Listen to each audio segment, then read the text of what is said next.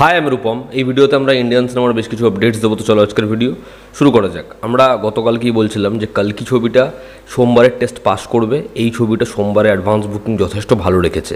এবং হিন্দি বেল্টের রেসপন্স ছবির খুবই স্টেডি তেলেগুতে এই ছবিটা দারুণভাবে স্টার্ট করে। যেটা হয় তেলেগু স্টারদের ক্ষেত্রে, এটা ব্যাপক নাম্বার থাকে।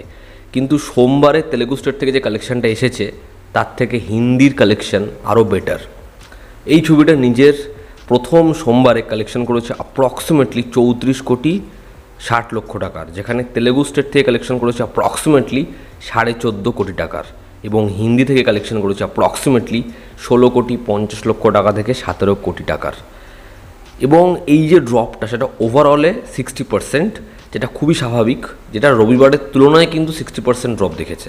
না হলে এই কালেকশনটা কিন্তু ভীষণ ভীষণ ভালো কালেকশন হিন্দিতে তো ছবির কালেকশন খুবই স্ট্রং এবং যদি আমরা রাফ ডেটা ওয়াইজ এই ছবির এখনও পর্যন্ত অল ওভার ইন্ডিয়াতে নেট কালেকশন দেখি, তাহলে সেটা অ্যাপ্রক্সিমেটলি তিনশো তেতাল্লিশ কোটি ছ লক্ষ টাকায়। এবং হিন্দিতে এখনও পর্যন্ত একশো আঠাশ কোটি টাকা ছবিটা কামিয়েছে পাঁচ দিনে। তেলেগু স্টেটে অ্যাপ্রক্সিমেটলি একশো বিরাশি কোটি টাকা। তো দেখার এই ছবিটার উইকডেজ ধরে কেমন কি বিজনেস হয়, এই ছবিটা আবার যখন শনি রবিবার আসবে, সেখানে আবার জাম্প নেবে, যে কারণে অরো মেঘা দামথা ছবিটা পিছিয়ে গেছে, আমরা গতকালকেই বলছিলাম। দেখার এই ছবিটা অল ওভার ইন্ডিয়াতে ফাইনাল কালেকশন কেমন দাঁড় করায়। আমরা যদি পরবর্তী আপডেটে আসি সন অফ সর্দার টু এই ছবিতে আমরা অজয় দেবগন সঞ্জয় দত্ত এবং মৃণাল ঠাকুরকে দেখতে চলেছি। এই ছবির পরিচালক বিজয় আরোরা এবং ছবিটার কাজ শুরু হবে জুলাই মাসের এন্ড থেকে স্কটল্যান্ডে যে প্রিভিয়াস পার্ট সেটা দু হাজার বারোতে রিলিজ করে দিওয়ালির সময় বক্স অফিসে সুপারহিট ভার্ডিক্ট পেয়েছিল, জব থেকে জানের আগেনস্টে দেখার এর পরবর্তী পার্ট কতটা ভালো করে বানানো হয়, এর কমেডি অ্যাকশন কেমন থাকে এবং এই ছবিটা বক্স অফিসে কী করতে পারে। আমরা শুধুমাত্র অক্ষয় কুমারের পরপর ছবি শ্যুট তার একটা ছবি থেকে আরেকটা ছবিতে খুব একটা বেশি ফোকাস না হওয়ায় নিয়ে কথা বলি, কিন্তু অজয় দেবগানের ক্ষেত্রে কিন্তু একই বিষয় সাজে তার কারণ, তার প্রত্যেক ছবিতে প্রায় একই রকম লুক এবং অজয় দেবগানের তিনটে ছবির সিকুয়ালের কাজ পরপর হলো। তার এই সিংহম আগেইন এই ছবিটার কাজ শেষ না হতেই সে জুলাই মাস থেকে তার পরবর্তী সন অফ সর্দার টু যেটা নিয়ে আমি কথা বললাম সেটার কাজ করবে স্কটল্যান্ডে এবং তার ঠিক শেষ হওয়ার পরেই পঞ্চাশ দিনের জন্য সে ডেট অ্যালট করেছে দে দে পেয়ার দে টু এর জন্য তো অজয় দেবগানও কাইন্ড অফ সেরকমইভাবে এগোচ্ছে। খালি অজয় দেবগান একজন খুব ভালো অ্যাক্টর বলে যে কোনো ক্যারেক্টারে সুইচ করে যেতে পারে। মিতিন মাসির থার্ড পার্ট যেটা অরিন্দম শীল পরিচালনা করছে, যেখানে কোয়েল মল্লিককে আবার আমরা মুখ্য চরিত্র দেখব মিতিন মাসি হিসাবে। তো এই ছবিটার শুটিংয়ের কাজ সম্পূর্ণভাবে কমপ্লিট হয়েছে, ছবিটার র্যাপ ঘটে গেছে। দেখার এই ছবিটা কোন টাইমে বক্স অফিসে আসে, দুর্গাপুজোর সময় আসে কিনা, এবং ছবিটা বক্স অফিসে কী করতে পারে। Rocking star Yash star film Toxic যেটা গীতু মোহন দাস বানাচ্ছে। তো সেই ছবিটায় যে ব্যাকড্রপ হবে, সেখানে একটা লম্বা সময় দেখানো হবে। উনিশশো পঞ্চাশ সাল থেকে উনিশশো সত্তর সাল হবে এই ছবির ব্যাকড্রপ তো দেখার এই ছবিটা বক্স অফিসে কী করতে পারে? ছবিতে এতজন ভালো ভালো পারফর্মাররা রয়েছে। ছবিটা হয় কেমন? ভেনম দ্য লাস্ট ডান্স এই ছবিটার রান টাইম দু ঘণ্টা কুড়ি মিনিটের।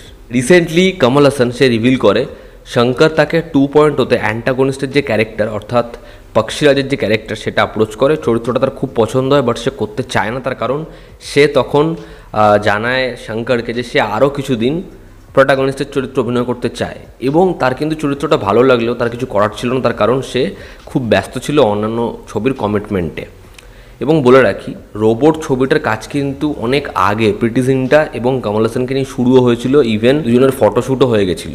যদিও সেই ছবিটার বাজেট হিসাবে, সেই ছবিটা সেই সময় যেরকম প্ল্যান করেছিল শঙ্কর, যেই কারণে ছবিটা হয়নি। পরবর্তী সময় তো জানি আমরা রজনীকান্তকে নিয়ে হয়। এবং টু পয়েন্ট ওতে অক্ষয় কুমারের ক্যারেক্টারটা পাক্ষিরাজ কত লোকে পছন্দ করেছে, সেই চরিত্রটা কীরকমভাবে অডিয়েন্সের ভালোবাসা পেয়েছে। পাঁচই জুলাই প্রেক্ষাগৃহে কিল ছবিটা আসছে, যেটা নিয়ে লোকে ভীষণ এক্সাইটেড সেই ছবির অ্যাকশন ছবির ব্রুটালিটি অডিয়েন্সকে মারাত্মকভাবে ছবিটার জন্য এক্সাইটেড করেছে।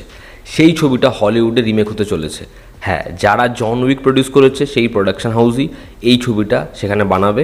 দেখার এই ছবিটা যখন সেখানে আসে কি করতে পারে? আলিয়া ভট্ট এবং সারভারির পরবর্তী ছবি, যেটা হচ্ছে ওয়ারএফের নেক্সট স্পাই ফিল্ম তবে এই ছবিটা কোনোভাবেই ইন্ডিয়া এবং পাকিস্তানের স্পাইদের নিয়ে নয়।